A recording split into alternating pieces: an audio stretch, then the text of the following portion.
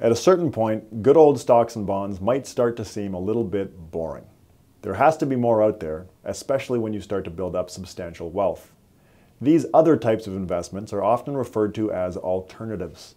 They sound much more exciting and exclusive than stocks and bonds and are typically sold as having higher potential returns or diversification benefits that plain old stocks and bonds can't offer.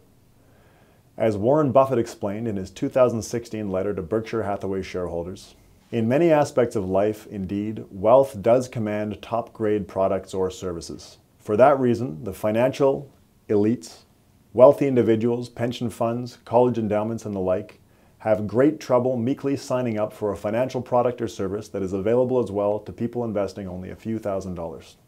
Alternative investments are a broad category, so I've split this topic up into multiple parts. I'm Ben Felix, Associate Portfolio Manager at PWL Capital. In this episode of Common Sense Investing, I will tell you why you should think twice about owning high yield bonds.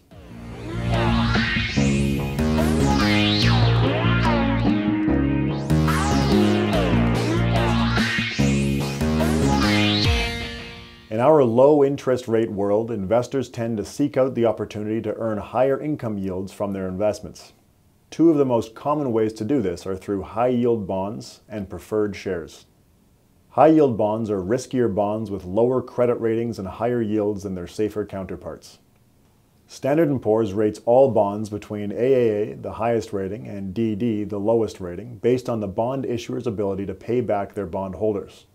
High yield bonds have a rating of BB or lower, defined by Standard & Poor's as less vulnerable in the near term, but faces major ongoing uncertainties to adverse business, financial, and economic conditions. Remember that you typically hold bonds in your portfolio for stability. High yield bonds are too risky to serve this purpose. In fact, a 2001 study by Elton, Gruber, and Agrawal found that the expected returns of high yield bonds can mostly be explained by equity returns. In other words, high yield bonds contain much of the same risks as stocks. 3.4% of high yield bond issuers have historically been unable to pay back their bondholders, and when they are unable to pay, bondholders have typically recovered a little less than half of their investment.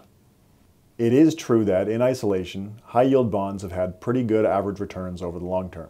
However, including high yield bonds in portfolios has been less exciting. In a 2015 blog post, Larry Swedroe compared four portfolios, one with all of its fixed income invested only in safe five year Treasury bonds, the other three with each an increasing allocation to high yield corporate bonds.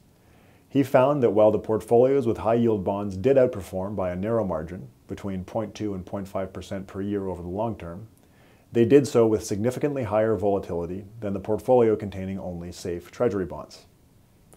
On a risk adjusted basis, the high yield bonds did not add value to the portfolios. In Swedroe's book, The Only Guide to Alternative Investments You'll Ever Need, he writes Investing in high yield bonds offers the appeal of higher yields and the potential for higher returns. Unfortunately, the historical evidence is that investors have not been able to realize greater risk adjusted returns with this type of security. In his book Unconventional Success, David Swensen, the chief investment officer of the Yale Endowment, similarly denounces the characteristics of high yield bonds, writing that well informed investors avoid the no win consequence of high yield fixed income investing. On top of all of this, High yield bonds are tax inefficient. They pay relatively high coupons, which are fully taxable as income when they are received. As an asset that behaves similar to stocks, high yield bonds are a very tax inefficient way to get equity like exposure. High yield bonds do have some proponents. Rick Ferri, a well respected evidence based author and portfolio manager, does include high yield bonds in his portfolios. I do not recommend high yield bonds in the portfolios that I oversee. If you do choose to include high yield bonds in your portfolio, they should only make up a small portion of your fixed income holdings. Due to the risk of default and relatively low recovery rate, it is also extremely important to diversify broadly with a low-cost high-yield bond ETF. I would never suggest purchasing an individual high-yield bond. Join me in my next video where I will tell you why preferred shares don't get you any preferential treatment. My name is Ben Felix of PWL Capital and this is Common Sense Investing. I'll be talking about this and a lot more common sense investing topics in this series, so subscribe and click the bell for updates. I want these videos to help you make smarter investment decisions, so feel free to send me any topics that you would like me to cover.